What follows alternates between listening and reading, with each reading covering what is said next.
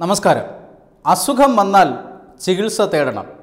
ചിലർ സർക്കാർ ആശുപത്രികളിലേക്കും ചിലർ സ്വകാര്യ ആശുപത്രികളിലേക്കും മറ്റു ചിലർ പഞ്ചനക്ഷത്ര ആശുപത്രികളിലേക്കും ഇനിയും ചിലർ വിദേശ പഞ്ചനക്ഷത്ര ആശുപത്രികളിലേക്കും പോകും. അവരവരുടെ സാമ്പത്തിക നിലവാരമനുസരിച്ച് പോക്കറ്റിന്റെ കനമനുസരിച്ച് വിവിധ തരത്തിലുള്ള ആശുപത്രികളിൽ ചികിത്സ തേടും. സമൂഹത്തിലെ ഉന്നതരായ ധനാഢ്യന്മാർ പൊങ്ങച്ചം പറയാനായി ചില വിദേശ പഞ്ചനക്ഷത്ര ആശുപത്രികളിൽ ചികിത്സ നേടാറുണ്ട്. സ്വദേശത്ത് ചികിത്സയില്ലാത്ത രോഗങ്ങൾക്കും ചിലർ വിദേശ ചികിത്സയെ ആശ്രയിക്കാറുണ്ട്. അത്തരത്തിൽ ഒരു വിദേശ പഞ്ചനക്ഷത്ര ആശുപത്രിയാണ് അമേരിക്കയിലെ മയോ ക്ലിനിക്. വിദേശത്തു നിന്നുള്ള രോഗികൾക്ക് മാത്രമായി ഒരു പ്രത്യേക വിഭാഗം തന്നെ ഈ ആശുപത്രിയിലുണ്ട്. ഓൺലൈനിലൂടെ ലഭിക്കുന്ന അപ്പോയിൻമെന്റുകളിലൂടെ നൂറ്റി മുപ്പത് രാജ്യങ്ങളിൽ നിന്ന് ഏകദേശം വർഷം തോറും ഏതാണ്ട് പതിമൂന്ന് ലക്ഷം പേർ ചികിത്സ തേടുന്ന അമേരിക്കയിലെ നമ്പർ വൺ റേറ്റഡ് ആശുപത്രിയാണ് മയോ ക്ലിനിക്. ഇത്തരമൊരു വിദേശ പഞ്ചനക്ഷത്ര ആശുപത്രിയിൽ ചികിത്സ നേടുന്നതിൽ ഒരു വ്യക്തി എന്ന നിലയിൽ പിണറായി വിജയന് തടസ്സമൊന്നുമില്ല. പക്ഷേ അദ്ദേഹം ഈ സംസ്ഥാനം ഭരിക്കുന്ന മുഖ്യമന്ത്രി എന്ന നിലയിൽ സർക്കാർ ഖജനാവിൽ നിന്ന് പണം ചെലവാക്കി ഭാര്യയെയും ഒരു പേഴ്സണൽ അസിസ്റ്റന്റിനെയും ഒപ്പം കൂട്ടി അമേരിക്കയിലേക്ക് പോകുമ്പോൾ ചില കാര്യങ്ങൾ അദ്ദേഹം പരിഗണിക്കേണ്ടതുണ്ട്.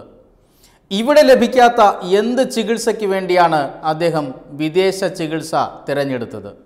ആരോഗ്യരംഗത്ത് നമ്പർ വൺ എന്നൊക്കെ പറഞ്ഞ് വീമ്പിളക്കുന്ന ഒരു സംസ്ഥാനത്തെ മുഖ്യമന്ത്രി തന്നെ ഇങ്ങനെ നമ്മുടെ ആരോഗ്യ സംവിധാനങ്ങളെ അവിശ്വസിക്കുന്നത് എന്തുകൊണ്ടാണ്?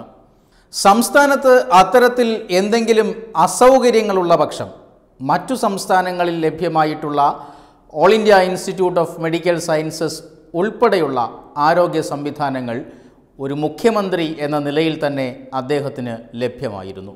ഇതെല്ലാം നിരസിച്ച് കേവലം പഞ്ചനക്ഷത്ര സുഖ സൗകര്യങ്ങൾക്ക് മാത്രമായി സംസ്ഥാന ഖജനാവിലെ പണം ഇങ്ങനെ ദുരുപയോഗം ചെയ്യുന്നത് ഒരു ഇടതുപക്ഷ സർക്കാരിന് ഭൂഷണമാണോ?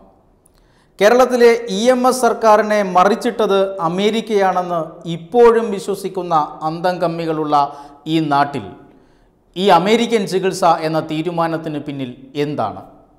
പിണറായി മാത്രമല്ല മുഖ്യമന്ത്രി സ്ഥാനത്ത് വരുമ്പോൾ ഇത് കമ്മ്യൂണിസ്റ്റുകളുടെ സ്ഥിരം പരിപാടിയായി മാറിയിട്ടുണ്ട്. വി എസ് അച്യുതാനന്ദനും ഇ കെ നായനാറുമെല്ലാം ചികിത്സയ്ക്കായി പാശ്ചാത്യ നാടുകളെ ആശ്രയിക്കുന്ന ചരിത്രമുണ്ട്. അമേരിക്കയെയും സാമ്രാജ്യത്വത്തെയും നാട്ടിൽ ജനങ്ങളുടെ മുന്നിൽ അടച്ചധിക്ഷേപിക്കുക.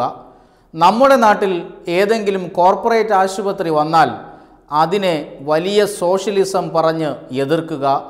കൊടി കുത്തി ഓടിക്കുക തുടങ്ങിയ പ്രവർത്തനം നടത്തുന്ന കമ്മ്യൂണിസ്റ്റുകൾ ഭരണം കിട്ടിയാൽ ഖജനാവിലെ പണവും എടുത്ത് സാമ്രാജ്യത്വ രാജ്യങ്ങളിലെ കോർപ്പറേറ്റ് ആശുപത്രികളിലെ പഞ്ചനക്ഷത്ര ചികിത്സയ്ക്കായി ഓടുന്നത് ഇന്നാട്ടിലെ സഖാക്കൾ എങ്ങനെ ന്യായീകരിക്കും? മയോ ക്ലിനിക്ക് അമേരിക്കയിലെ നമ്പർ വൺ ആശുപത്രിയാണ്. അപ്പോൾ എയിംസ് ആശുപത്രി പോലുമില്ലാത്ത നമ്പർ വൺ കേരളത്തിലെ നമ്പർ വൺ മുഖ്യമന്ത്രി പിന്നെ എവിടേക്കാണ് പോകേണ്ടത് എന്നായിരിക്കും. പ്രസംഗത്തിലും പ്രവൃത്തിക്കും ഒരു ചെറിയ പൊരുത്തമെങ്കിലും വേണ്ടേ? ഈ നമ്പർ വൺ കേരളത്തിൽ തന്നെ സഖാവിന് ചികിത്സ തേടാമായിരുന്നു എന്ന് വിചാരിക്കുന്ന ധാരാളം അന്തം കമ്മികളുണ്ട്. ഇവിടെ ഒരു കപ്പിത്താൻ ഉള്ളതാണല്ലോ. പക്ഷേ മുള്ളാൻ മുട്ടിയാൽ ഈ കപ്പിത്താൻ പുറകെ വരുന്ന കപ്പൽ കൈ കാണിച്ച് നിർത്തി അതിൽ കയറി മുള്ളുന്ന ഏർപ്പാടായിപ്പോയി ഇത്. ക്യൂബയിലെ ആരോഗ്യ സംവിധാനങ്ങളെക്കുറിച്ച് തള്ളിമറിച്ചിരുന്ന സഖാക്കളാണ് ഇപ്പോൾ ആകെ പെട്ടത്. ഇങ്ങർക്ക് അമേരിക്കയിലെ ചികിത്സ ഒഴിവാക്കി ക്യൂബയിലേക്ക് എങ്ങാനും പോയി തമാശയൊക്കെ വിടാം. അല്ലയോ മുഖ്യമന്ത്രി? വികസിത രാജ്യങ്ങളിലെ ആരോഗ്യ സംവിധാനങ്ങൾ ഉള്ള നാടാണ് കേരളമെന്ന് താങ്കൾ തന്നെ തള്ളിമറിക്കുമ്പോൾ അങ്ങ് ഇവിടത്തെ അടിസ്ഥാന സൗകര്യങ്ങളെയും മനുഷ്യശേഷിയെയും വിശ്വസിക്കണം. അരുൺ ജെയ്റ്റ്ലിയുടെയും സുഷമ സ്വരാജിന്റെയും മാതൃകകൾ കാണണം. വലതു കൈയിൽ അപേക്ഷാ ഫോമും ഇടതു കൈയിൽ യൂറിൻ ബാഗുമായി കാരുണ്യ ബെനവലൻ ഫണ്ടിനായി ക്യൂ നിൽക്കുന്നവരുടെ നാടാണിത്. കേവലം പഞ്ചനക്ഷത്ര സൗകര്യങ്ങൾക്കായി അവരുടെ തന്നെ പണമെടുത്ത് അങ്ങ് ഇങ്ങനെ വിമാനം കയറരുത്. Web desk Tatwamayi news.